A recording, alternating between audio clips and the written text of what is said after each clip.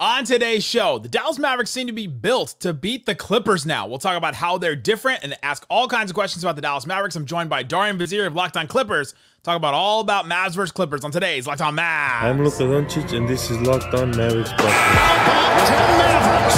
NBA champions. Bang! Bang! It's good! And the Mavericks have won the game! If you don't believe, you shouldn't be here.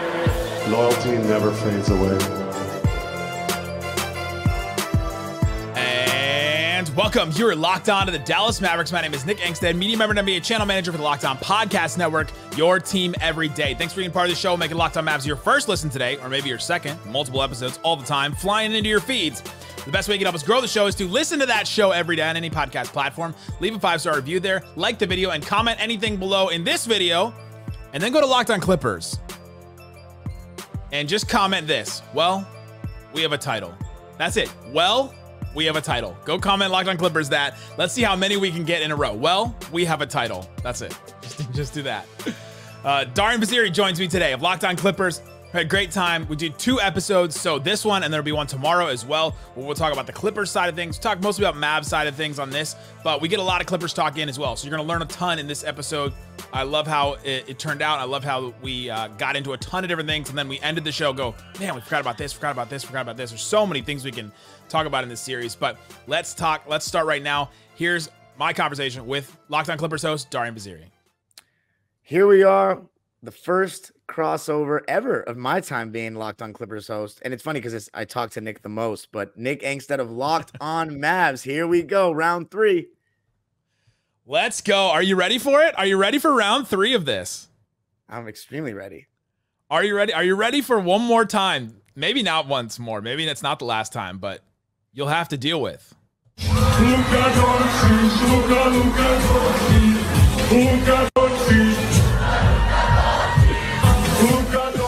You ready for that? Are you ready for that again in the playoffs? Absolutely not. Absolutely not. So uh, that, that's the, that's the biggest thing. Can we beat Luka Doncic three times? Can the Clippers do this three times? And it's a very different Four. side of uh, both teams, different version of both teams.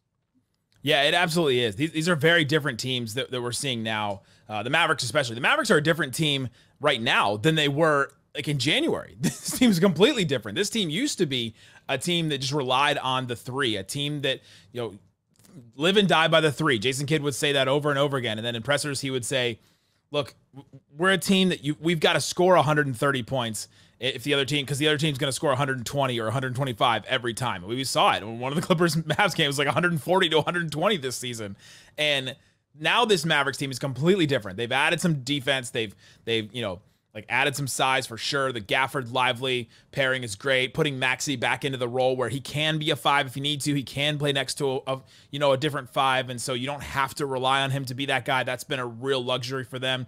PJ Washington has been an amazing addition. His defense has been better than even I expected for the Mavericks, and so th- this team is completely different, and they're different from 20 and 21, the last time these two teams faced in the playoffs because of Kyrie. Like, do you remember who the second leading scorer was in those series? It was Tim Hardaway Jr.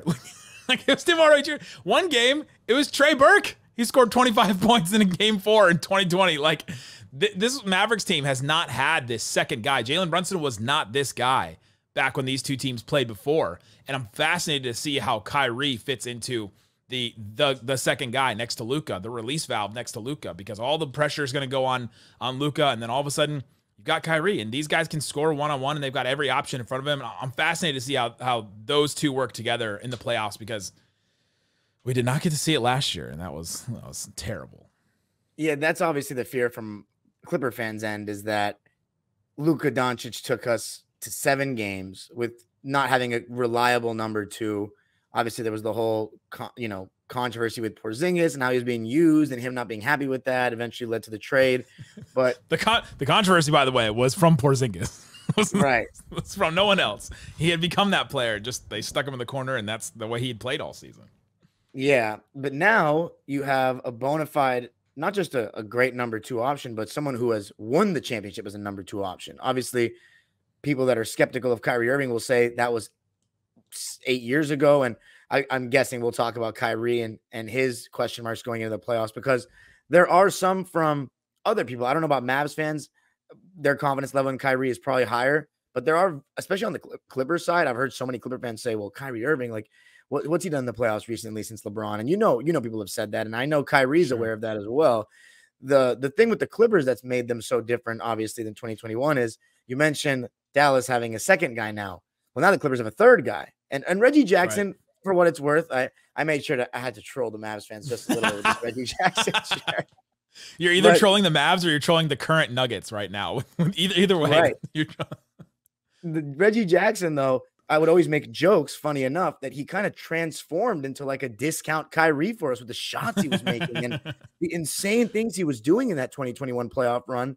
But now we have James Harden, who in the third option role, the only time we've seen him since OKC was Brooklyn. And there's a lot of people that believe that had their Kyrie Irving and James Harden not been injured, that they would have won the championship or beaten Milwaukee. So James Harden is now in what people believe is the best role for him to win a championship. And there's been definitely two versions of James Harden this year, which is, I think, what this series is really going to come down to, besides, of course, the obvious Kawhi Leonard's health. But that's the main difference between the Clippers for me is we don't have as many wings. We just have a lot of wings. Nicholas Batum, Marcus Morris. I'm trying to think if I'm missing anyone else in that 2021, but it was, it was mainly Marcus Morris and Nicholas Batum. And then we had Terrence Mann come in and Pat Bev gave some minutes here and there. But 2021, you, the Mavericks played Pat Bev kind of off the floor. He wasn't really that used. He was coming off an injury. So it was like immediate. it was like within the first couple of minutes of the first game, we're like, oh God, he can't play in the series. Well, I vividly remember the second game I was at. Luka took Pat Bev right to the basket and gone and one. And I was like, yeah, we can't switch Pat Bev onto Luka anymore. And he didn't become a bigger, he didn't become a big impact piece for the Clippers that playoff run till the second and, and second round in the conference finals. But that my, my main difference is the Clippers were more of a wing heavy roster before. And now we don't have those wings. We don't have the same defensive personnel, but we do have James Harden, which has made us one of the better offensive teams in the league. Yeah, I said on my show the other day, the two swing players of the series are Harden and, and Kyrie. I think we know what we're getting from Luka. We know what we're getting from Paul George, and if Kawhi plays, which I'm assuming he plays, I'm assuming I'm just gonna assume that Kawhi is gonna come in and be completely fine in Game One. Like that's that's what I'm assuming, even though there is concerns and all this. And by the time you're listening to this, you may know more, but I'm assuming he's gonna play. Eh, but I think Harden and Kyrie are the two swing players because, yeah, I, I think there has been some question about Kyrie. Um, you know, all the risks and stuff that, that they took when they they made the trade, like none of those have come to fruition at all in, in any way. But now you look at, okay, we can just focus on basketball. You don't have to focus on any of the off the court stuff anymore. And there's kind of some question about, all right, well, how are they going to, how are Luka and Kyrie going to defend in the playoffs when it comes down to it? When one of those guys is going to have to defend one of the three on the Clippers, right? I mean, you got Derrick Jones and you got PJ Washington, and then is it Kyrie taking Harden? Is it Luka taking Harden? I mean, defense in the NBA is no longer just this like one on one. You got to guard the person in front of you. Everybody's gonna be moving around and all that. So Luka and Kyrie will guard everybody at some point with all the switches and stuff. But yeah, the, the question is gonna be how can you know a smaller guard like Kyrie hold up in that anymore in the NBA? And he was okay for the the I thought he was okay for like a star player with Boston and with Brooklyn. But you go back to how he played with the clip with the the Cavs back with LeBron, and I think setting him next to a guy that's that playmaker that controls that much attention, he did not have that in Boston. And KD's just not that same type of player that Luka and LeBron are. Like they're they're just more of the playmakers. Uh, great as KD is, and so I think that that Kyrie is is also like for the same thing that Harden is like in his in his best spot right now. I think Kyrie is in his best spot right now too because he can float in and out of the game. He doesn't have to control it at any point. And then all of a sudden, when the Mavs need something, he can turn it on no matter what. And that's what Brunson had really figured out by the end is I have to be able to turn it on immediately and then go get a bucket and go get this. And Kyrie is one of the best in the NBA. Just go get me a bucket, right? Like he made a career out of going and getting a bucket with a fake beard and, you know, and wrinkles on, on. and so he uh he did that and made a movie and then he then he uh in the NBA he's been amazing at that. And so I'm fascinated at those two players. I think they're the real swing players of this of this series. And whoever, I don't know, if, do you think it's whoever has the best series between Harden and Kyrie wins the series? Not quite, actually. I'm very much pro that kind of stuff when it comes to the best players. Although with this series, as you said, Luka and Kawhi are just fairly re- uh, fairly reliable in the playoffs, to put it lightly. Uh, so you know what you're probably going to get from them. I actually, and the Clipper fans might not like this, but I have more faith in Kyrie Irving in his role than, than James Harden performing in his. And it's only Mm. because I saw Kyrie Irving do it at the highest level. And I personally don't think he's gotten much worse as a player at all.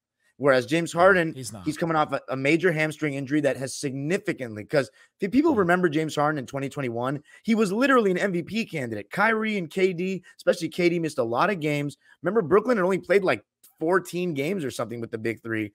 So Harden actually really shouldered that load for Brooklyn that whole season and was, I believe, third in the MVP race after Steph Curry and Jokic.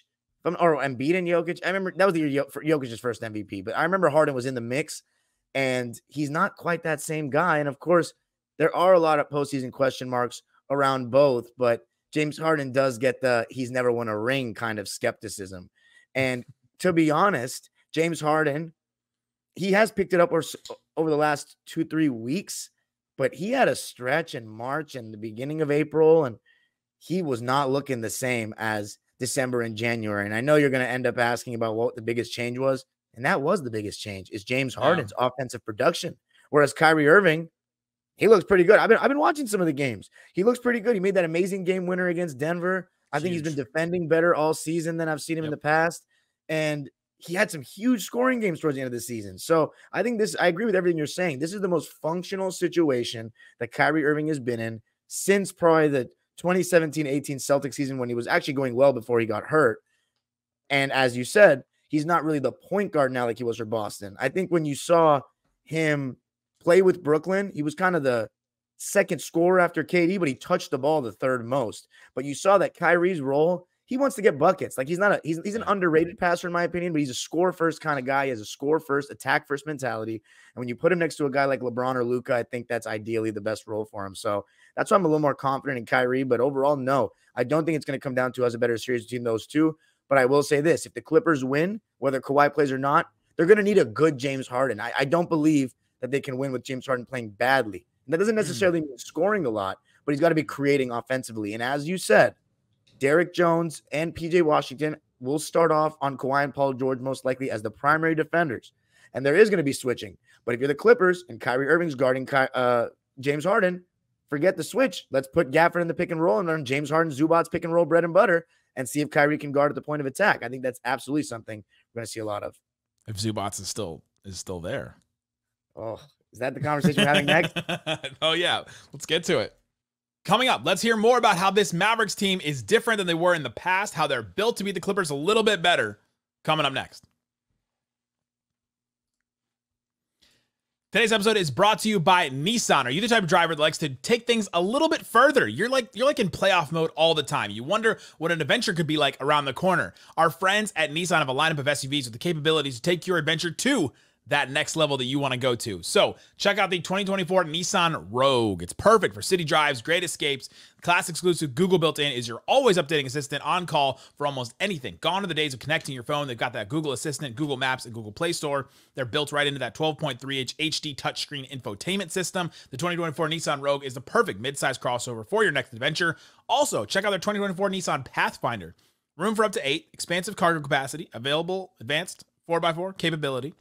284 horsepower, 6,000 pounds of towing. When adventure calls, the Pathfinder is there to answer. Take the Nissan Rogue, the Nissan Pathfinder, or the Nissan Armada and find your next big adventure.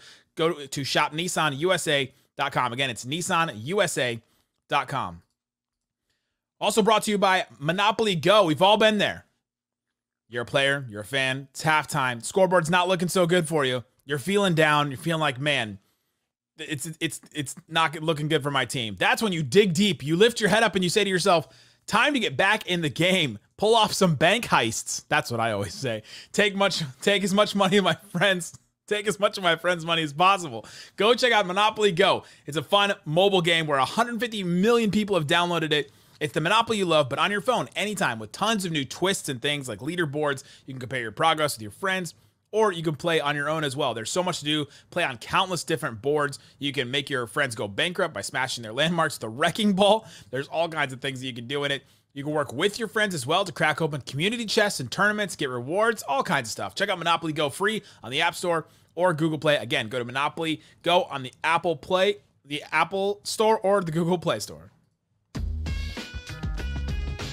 if it's a Zubac, is he's basically anchored our defense this entire season. I think he's one of the better drop defenders in the league.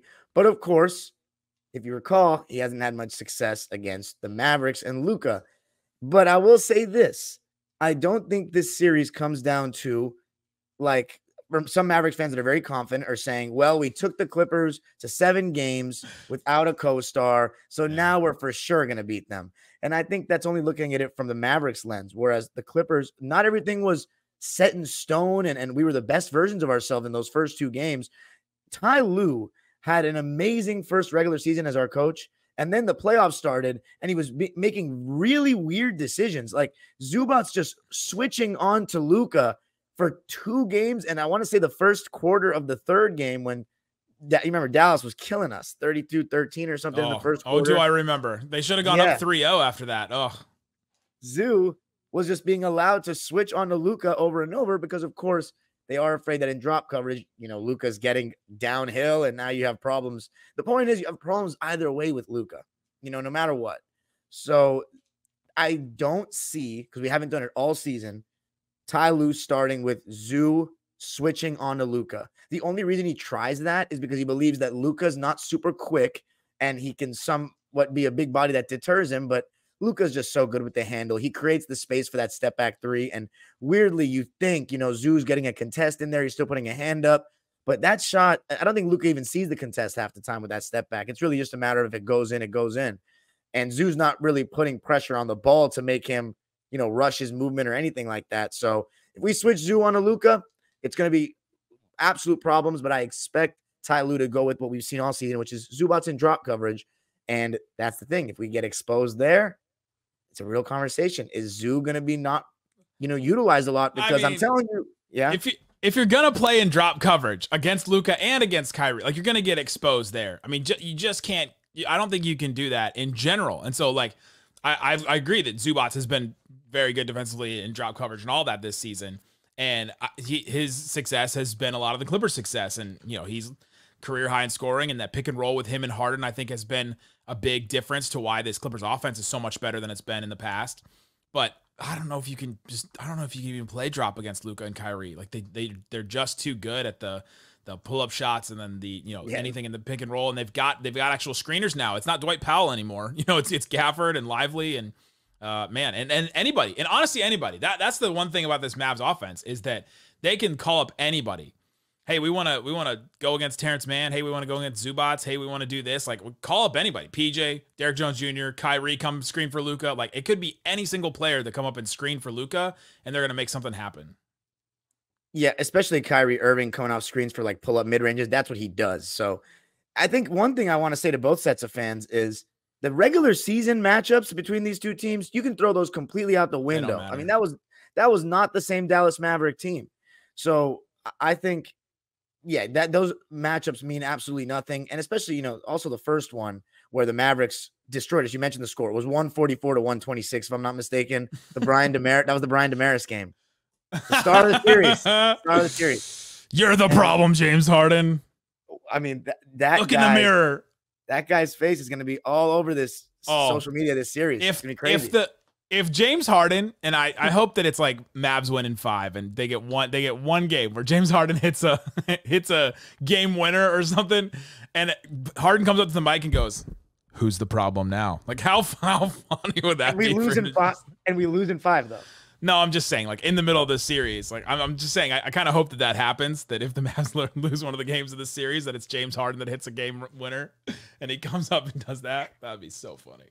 That would be funny. But that game, what I was saying was you can't really take anything from it because that's before Russell Westbrook was even put on the bench. And I haven't even mentioned his name yet. But yeah, the, the thing about Russ is when you give him extended minutes to really put his imprint on the game, of course, we've seen that it can go really badly at times. But when it goes well, that guy can affect the game in so many ways. And that grittiness, that toughness, is huge for playoff basketball. As much as people want to give Russell Westbrook a hard time for some of his playoff struggles, we also have seen him have amazing playoff games over the years. Yep. And one of them was an example of last year, or an example was one of them last year against the Suns when we still had Kawhi playing. He went three for 19 in the game and still made huge plays defensively, had that block against Devin Booker and knocked it off his leg and made big free throws, got huge offensive rebounds. So, you know, with James Harden, all of the stuff that he does well is going to be, you know, on the ball, creation, shot making. But Westbrook, he gives you those intangibles, those hustle plays. And what I'm really interested though is how much Ty Lue's going to use him because that's been a point of controversy all season long is the usage of Westbrook, the leash. He was good against Luka, like defending Luka at in one of the matchups this season too. And that was something that I found really fascinating because he's kind of turned into this six man energy hustle guy. And if you're playing Westbrook, how many minutes is he playing this season? If you're playing Westbrook not 40 minutes a night, you know, like then all of a sudden you're 25. it's I don't even know. if 22, 22 and a half minutes again. Like this, if they pack all of his minutes into that small amount of time, like that's he can put forth that much more energy. And the Mavericks do the same thing with like a Daniel Gafford. He hasn't played more than like 20, 25 minutes a night normally when, you know, and the, you'd think that the Mavericks would try and just stretch that as, as long as possible, but they've really tried to conserve him because they want that energy. They want that hustle. And so I think those those are like the two main hustle guys for, for both teams. I think is Westbrook and then Gafford. And uh, do they stretch any of their minutes? Does it does it deteriorate some of their like hustle and athleticism and force and all that they play with? You know, I'm fascinated with that. And then so Gafford is kind of that guy for the Mavericks. I think that has become that that like hustle force guy. You know the you talk about the the bundled up energy though of Russ in that time. One time, sometimes it can have the negative effect where you know Russell Westbrook is a guy, he's an emotional player. He only knows he's getting 15 minutes, so in those 15, he's just going so hard, looking to just Yeah. force shots, and it can be a disaster sometimes. It can really be a disaster. I think what makes him so much more comfortable, and you saw this against the Suns last week, when he's knows he's getting time, and especially when he's surrounded by a Paul George or Kawhi to start games, he becomes more of that facilitator. And I, I really love that version of him because he still has the passing chops, but he does not have the same scoring chops he once had. So that's that's something with Russ to watch. Going back to Zubac, though, I want to mention part of the reason the Clippers slumped so hard too in March and in beginning of April was Zubac got injured and Mm. our backup. So if, if, if the Mavericks successfully play Zubac off the floor this time, it's not looking as good as last time at all. I think the Clippers need Zubac to actually be big in this series or good in this series, or they're not going to win because our small we don't have a, a small ball lineup that's played over 35 minutes together. Like a five man unit has Yeah. not played over 35 minutes together. The best Clippers unit by net rating this season is the James Harden, Paul George, Kawhi Leonard, Zubac, the four starters, but instead of Terrence Mann, Norman Powell. Because Norman Powell, he's actually been our second most consistent. I can't believe I didn't mention that when you asked what's different. He is awesome. Norman Powell has been the second most consistent player, not even scorer, most consistent player this season for the Clippers after Kawhi. And I have a feeling Dallas fans are going to despise him by the end Yeah. of this series, no matter how it goes. He's just so efficient. the like the difference between Norman Powell and Tim Hardaway Jr. on paper shouldn't be that much, but it it really is. Like it's a real Yeah. big difference in the way that they can get shots and that, and I think that can be a big difference too. I got asked on a, a different like non locked on podcast recently, is Tim Hardaway Jr. the X factor in a poten- potential Clipper series? And I was like. It's actually better for the Mavericks if Tim Hardaway Jr. doesn't play that much. Like that they don't all of a sudden need him and are like, oh, we just desperately need offense, so we're gonna throw him out there, right? If the Mavs if the Mavs are working in the way that they need to be working, it's defense first, and then it's Luka and Kyrie creating just enough offense to make it work, and they have because they've created amazing offense. And so, uh, but it, it's the defense. Coming up, what more should we know about the Dallas Mavericks against the Los Angeles Clippers, and what more do we need to know about the Clippers? Talk about all that and more coming up. Today's episode is brought to you by eBay Motors. You've got that passion, you've got that drive, you've got that patience, you've got that winning formula that wins a championship in the NBA. It's also what keeps your ride or die alive. eBay Motors has everything you need to maintain your vehicle, level it up to peak performance. Check it out. They've got super cha- superchargers, roof racks, exhaust kits, LED headlights, and more. Whether you're into speed, power, or style, eBay Motors has you covered with over 122 million parts for your number one ride or die. You'll always find exactly what you're looking for there. And when you do, you know that guaranteed it's going to fit your car because they have that eBay guaranteed fit. That make sure it's going to fit your car the first time or your money back. Keep your ride or die alive at ebaymotors.com. Eligible items only. Exclusions apply. eBay guarantee fit only available to U.S. customers. The small ball thing is so is so interesting because it's been such a staple of what the Clippers have done the last couple of years, and to to the chagrin of, of Clippers fans, I think of like being known for that. But uh, for the Mavericks, you've got um, you've got you know Gafford at center. They're like they're like a plus six net rating with Gafford at center. At li- with Lively at center for the whole season, they're at plus five and a half. So like pretty good for pretty good with both of them.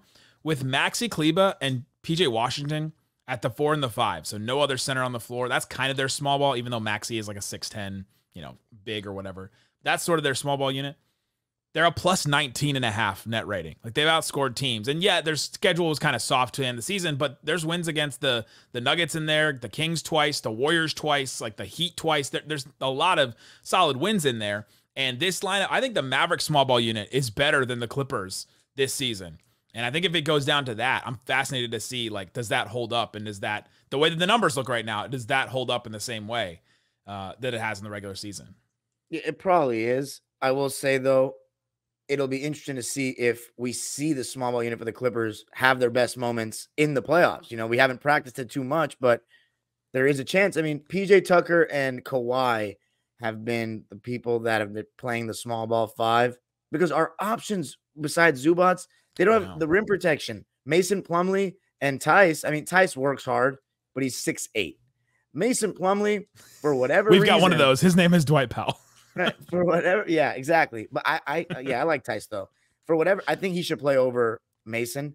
But the thing Mhm. about Mason Plumlee is he is an absolute free layup for teams. It seems like at the rim. I don't know what it is, but he has poor timing. He just has no rim protection in his game at all. At least not this version that we've had on the Clippers of Mason Plumlee. So if Zubac does not play heavy minutes or play a good amount, the Clippers might be in trouble because the small ball fives, as I said, Kawhi and PJ Tucker. PJ Tucker has not been a consistent part of the rotation this season. I don't even know if he should play in this series because Dallas, you know, this Dallas Maverick team has been the fastest paced Dallas team in the Luka era, correct? I mean, I noticed it when I watched, but yeah, Yeah, exactly. sure. So PJ Tucker, he just adds to our main issue, which is slow and unathletic and old. He's all those yeah, things. the the Mavs pace is, is very interesting this season. It was something that they talked about in training camp that they really wanted to push. They really wanted. You saw it at the end of last season when when Luka would play. They play the slowest pace in the league. They've been doing it for multiple years, slowest in the league, and it worked well in the playoffs because everything slows down in the playoffs anyway. And so the Mavs were like primed and ready against the Clippers and then against the Jazz and the Suns and the you know in the next couple years to slow it down and to to play super hyper efficient in the half court and all that. And the Mavericks can still do that. They're what like I think they're like top 5 or whatever in half court offense this season. But what they've also done is they've gotten into Luka's head. Hey, let's match some of what Kyrie is bringing to the floor cuz Kyrie when he came in at the end of last season, he would come on the floor and push the pace and push the pace. And when Luka, then it would be Luka's team, and Luka's team would be super slow. And it was like watching two different basketball teams on the same roster, and sometimes with the same players. They're just taking the the you know the cue from their star player. And so they've kind of molded those and meshed those together where where Luka now is always he gets the ball off of an outlet or gets the ball off of a made basket and is just always looking up. He's always looking up ahead and he'll throw those hit ahead passes. I mean, first game that they have Gafford, they're playing OKC, really good defensive team, like great defensive team. Luka looks down the court and chucks the ball like in the end zone to, to Gafford with like Jalen Williams on him. And Gafford just goes up and catches it and dunks it. And you go, man, they're like really looking ahead. And Luka's really trusting these guys to just catch some of these really tough passes. And uh, I don't think they'll be able to do stuff like that in the playoffs necessarily, but I think they will try and push the pace more. The problem is, like, if the Mavs try and push the pace, especially with Westbrook, I think you get beat because he's one of the best at that. And the way he pushes the pace for the Clippers has been really effective. But then when you get him stuck in the half court, it's like almost the opposite. It's like when he gets stuck in the half court, it's not as effective as when he's out in transition. we don't get out and run that much since we traded for James Harden. I mean, it really has slowed things down. He It's just does part do a, it, yeah. right. He does do a good job of those hit ahead passes as well. Uh, James Harden's always been good at that, but for the most part, things slow down. And in the slump that he had, there were possessions where he'd come up the court and he's taking 12 seconds off the shot clock, be- you know, before we even get into anything really. And The other, oh, sorry. yeah, no, go ahead. The other part about the Mavs pace is that Kyrie will just like step up and take a, a real quick pull up three in, in like at the beginning of the shot clock because somebody just like fell asleep and didn't come up and pick him up. And Luka does the same thing. And like it's not really a fast break possession, but it turned into one because they just caught the team not super prepared to to pick them up at half court. I mean, I figured one of the reasons why the Mavs pushed the pace is because Kyrie's pull up threat, Oh, big time. But as far as as I was thinking about something though, as you were talking, I do think there is an avenue where the Clippers can actually have a good small ball lineup that they haven't practiced too much. The thing is, my biggest fear with these small ball lineups is having Norman Powell and James Harden on the floor together because Mm. they're the two Clippers, the two weakest defenders that the Clippers have in the rotation, James Harden and Norm. And they're in that amazing lineup, you know, our highest net rating lineup, the the Powell Rangers lineup, as our radio host and his boys on their podcast call it. Norman Powell, James The Powell Kawhi. Rangers. Yeah, James Kawhi, That's Paul, amazing. Norman, Zoo. They they light teams up at the end of games because you have you still have the roll threat of Zoo in the screening, and then you have I mean James Harden, Norman Powell, Kawhi, and Paul, and that's some amazing offensive firepower right there. yeah. But if we have Westbrook with Kawhi and Paul, and then like Amir Coffey and Terrence Mann, I think that wouldn't be too bad. I think that wouldn't be too bad. Or even the James, you asked me about this off camera. What have the Clippers played with the force, you know, big name players much after they've taken Westbrook out of the starting lineup? And yeah. the they answer s- is that no. fir- that first game against the Mavs this year, they started those guys. and it was a disaster. Yeah. Yeah, they they haven't played them much together, the four of them, but they have figured out that they can be played together, but not usually with the center, not with a non-spacer. Mm. So maybe you'll see those four plus Norman Powell or those four plus Terrence Mann or Amir Coffey at some point. But it'll be interesting to see if we ever try those four with Zoo. I doubt they do because there's just so much bad data on it. And then eye test wise is not good because Harden, when he's in, he has the ball in his hands the most. I mean, he he averages 19 more touches per game than the next highest guy on the team. I checked that on He's NBA like their point guard. He'll ta- he'll take Right. it out from yeah. Right. Whereas, and then when you take Westbrook off the ball, as you said, when you're playing a half court game, James Harden running the controls, Westbrook's kind of stashed in the corner. I mean, he's a fantastic cutter, or he's become a Yeah. more proactive cutter as a member of the Clippers, but you're just not really maximizing what he does great. So that mixed with Zoo hurts the spacing, and that's why they haven't done it. Yeah, it's an interesting matchup. I'm fascinated to see what happens. I think the other thing about the Mavericks that, that we haven't really gotten to today is uh uh is Dante Exum. He's been amazing for the, for the Mavericks this season. Just an amazing pickup on a minimum coming over from the Euro League. Before he went over the Euro League, he was not a good three-point shooter. This year he shot 50% from 3. I mean, and quite literally won multiple games for the Mavericks uh, with just some really clutch shots. That if he, he he isn't there, he hit seven threes against the the Lakers in one game. He hit the uh, the the the three to tie the game to go into overtime against the Rockets the other day in that comeback win. He's had just some. He was he scored like 20 points a game when Kyrie was out. Um, in December when he was out with some injuries, like Dante Exum has been really good. The Mavericks offense destroys when Dante Exum and Luka and Kyrie. It's like 132 points per 100 possessions when those three are on the court together. It's not a huge sample size, but uh, they've kind of held him back and held his minutes down a little bit. But he's sort of been that X factor. So if there is sort of like the, you know, you talked about Norman Powell being that guy. I think I think probably uh, Dante Exum is that guy for the Mavericks to be that extra ball handler to you know the release valve for Luka or Kyrie and then to hit some open shots. I mean, just so big. And then his defense has been solid. You saw it in some of those Clippers games too this season. Uh, that he can kind of he can kind of defend any of those any of the four really. Um, I mean, some more some better than others, but but like he can, and that's a that's a huge thing for the Mavericks in their rotation. I see Dante Exum guarding James Harden a good amount in this series. But, you know, ultimately for me, James Harden, this is a huge series for him because, especially in those starting lineups, the start halves, you do probably have Kyrie Irving guarding you for the most part. And I know Kyrie Irving's been better defensively and Luka's been better defensively this year. But the main thing for the Clippers is you got to get those two guys to guard. You got to get Yeah, those two guys do. to guard. You got to put them in the action. You got to make them make them work, tire them out as best you can. So that's that's my biggest thing uh, as far as offensively. I also want to ask, how's Gafford's rim protection been? Because I see in the games he's he's definitely blocking some shots, but you know, relative to I guess other great rim protecting centers in the NBA.